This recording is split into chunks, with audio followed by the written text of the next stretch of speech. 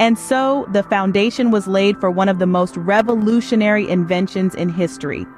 Change is the only constant, and trains are no exception to this rule. The journey of trains, from the chugging steam locomotives to the sleek electric machines we see today, is a fascinating tale of human ingenuity and technological advancement. Let's hop onto this time machine and explore how trains have evolved over the centuries.